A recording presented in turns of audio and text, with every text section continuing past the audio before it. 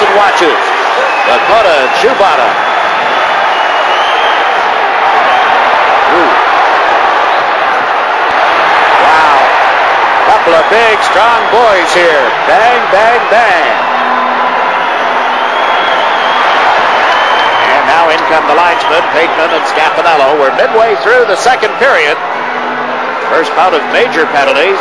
Bruce Shoebottom and Mick Vukota. To look at Bruce Shoebottom.